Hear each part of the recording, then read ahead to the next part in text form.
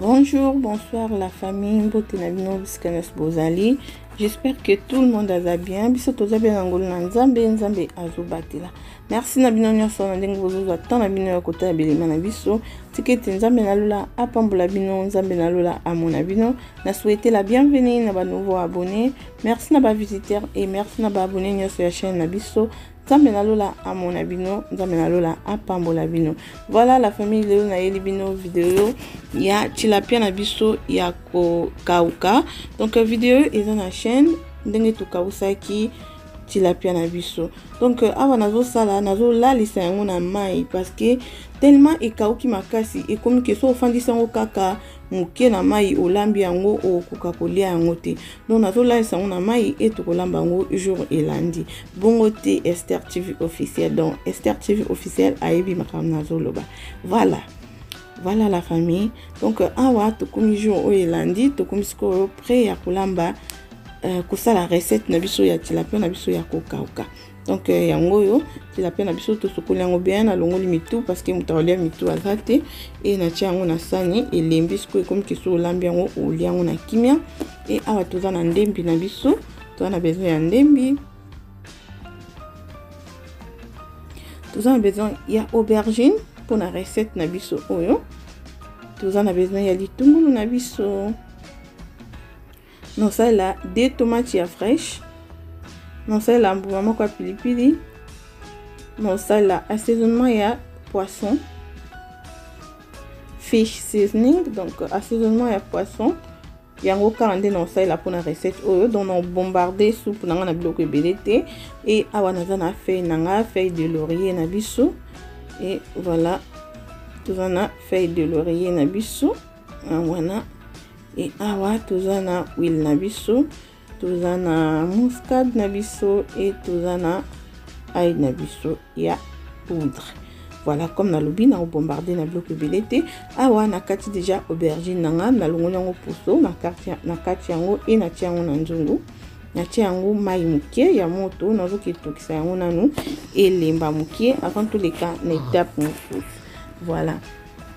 donc na kati aubergine na nga natie yango mwama ya moto e naketia yango etuka moke avant toleka na etape mosusu donc wana totie nzungu na biso na moto tozolela etoka soki etoki après tokoleka na etape mosusu donc euh, voilà voilà la famille wana aubergine na biso etoki donc mai ekauki etoye sikoyo mpona koekrase yango tolembisa yango tofina yango epanzana panzana mwa moke donc euh, c'est ça tozopanza yango tozoekraza yango tozofinafina yango epanzana moke après tokokontinue sikoyo na recette na biso voilà awa toza na matungulu na biso oyo tokataki matungulu matungulu totie likolo ya aubergine na biso oyo deja etoki e tozwi ndembi na biso totie totie ndembi tozwi tomate na biso ya fraîche mibale euh, comme boyebi nalongolaki yango poso ere eh, mo nasala bongo bomonana deja na video natokisaki e poso elembi nalongoli poso e na katikati yango naye otya sikoyo huile na nga totie ndembi matungulu totie tomate na biso e toyei kobakisa wili na biso esikoyo tozokalinga biloko na biso oyo nyonso voilà tozobalola yango c'est ça recette kitoko meka na ndako ozala desi te comme nde tolobaki video ya mbisi kokauka eza na chaîne oyo eza bambisi ya kokauka na biso tosalaki na ete avant ete esila tosalaki bambisi ya kokauka na biso video eza na chaîne kende ovisite soki oza na jardin okoki kosala mbisi na yo yo moko voilà totiki yango ekalingama etuka après tokozonga voilà bandeko wana totikaki euh, tomate na biso na matungulu na biso na aubergine na biso na ndembi na biso elemba wana totikaki yango elemba sikoyo tozongi wala ye na jusqu'au feuille na ngai naye kotya feuille de laurier na biso toye kotya ye toye kozwa sikoyo muscade na biso mpe bandeko nde tolobaki tosala muscade totye ebele te juste moke ye toye kozwa ai na biso ya poussière tozotya tozotya donc c'est ça kosala vraiment biloko ebele te mpona recette na nga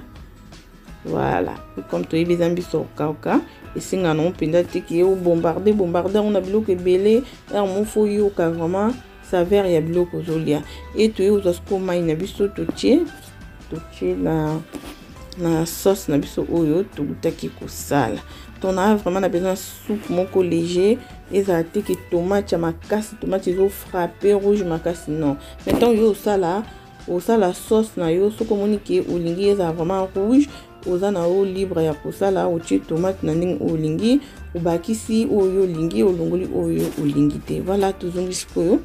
oyo sauce na biso totyaki totiki yango etoki biloko na biso nyonso oyo tosalelaki oyo tobaki tosalela totie yango etoki evoila sikoyo tolingi totya mbisi na biso donc comme bomonaki yango eza vraiment mbisi ya kokauka donc ekaukaki vraiment makasi donc e tolalisi yango kutu na mai mai bomoni epanzani te donc awa sikoyo totye yango na nzungu na biso tosali sauce na biso toyei kotya sikoyo mbisi na biso oyo ezali tilapia ya kokauka ye toye kotya yango na nzungu na biso toye kozwa uh, fish seasoning na biso nde tolobaki yango kaka tokosalela ezalaka na mungwa yango kaka tokosalela comme mungwa tobakisa mungwa te tobakisa buyo mosusu te kaka fish seasoning oyo donc totye yango na kati ya poisson na biso ya recette na biso e toyobakisa sikoyo mai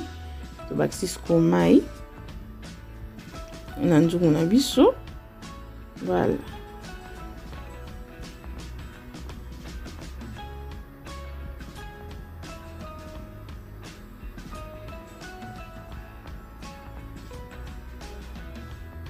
tobakisa sikoyo tobakisi wana tosi sikoyo bakisa mai na biso e tofiniki mofuniko na biso tozotika sikoyo nzungu na biso etoka